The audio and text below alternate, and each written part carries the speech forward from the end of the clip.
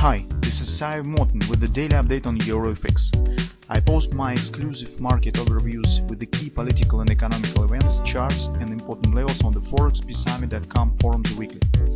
This short video is a response to rapidly changing situation on the currency markets and should help you to stay on top of the game and be profitable. I suggest you to visit forexpeacearmy.com forum and read my analysis for the week before watching this daily video. Welcome back everybody, let's take a look again on the gold market.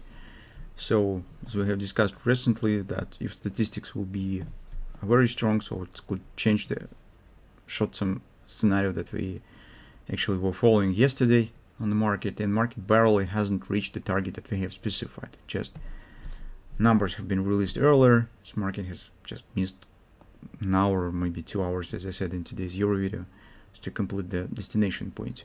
So anyway, uh, we have acknowledged that the trade has been closed at the break-even just because the target has not been reached and we have have had to out on them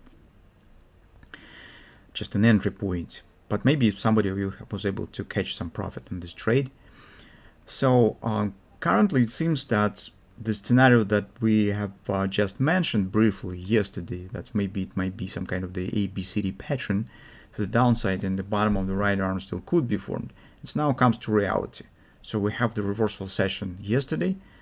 Drop was relatively strong, and uh, that makes us makes us think that we need to consider kind of the ABCD pattern with the targets, and still keep uh, keep following with these head and shoulders, whatever it will be. Either it will fail. In this case, we should be ready for drop below these lows. Market will continue downward action.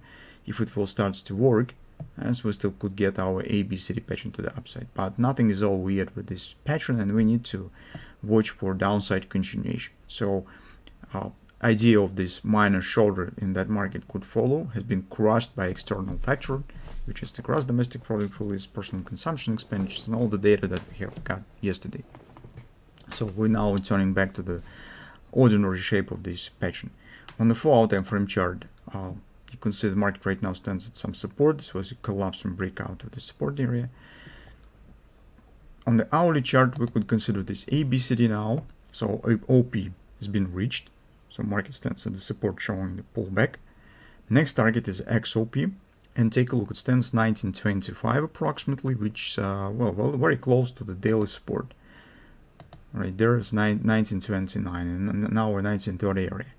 So once the XOP will be completed, that will be agreement with the major support area. And that's potentially the level that we will be watching and considering for a possible taking the long position. Uh, currently, intraday situation on the gold market stands a bit different compared to euro currency. If on the euro currency market it ever sold on the daily chart, here you could see that it is not at ever sold. So relatively free space exists, and market right now just at the support. And it means that we could watch for some pullback first level already has been tested 1957 but potentially if we get some kind of this upside ABCD pattern right maybe some guarded triple to sell or something.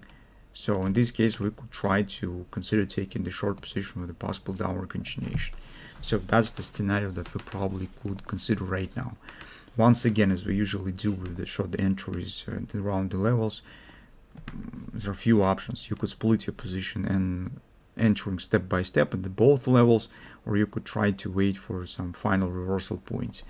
Um, the second approach that we usually uh, apply um, third scenario you could entry on a retracement when the downside action already starts so this is another approach that Joe DiNapoli usually uh, also recommend it's kind of the minesweeper entry technique when the trend turns bearish once again on the hourly chart and you're trying to enter on some minor retracements already when extension starts. So this is the third way to enter uh, with this scenario. Choose what you like more that's more suitable to your trading style. Well, that's approximately what we intend to watch on the call market. So let's see.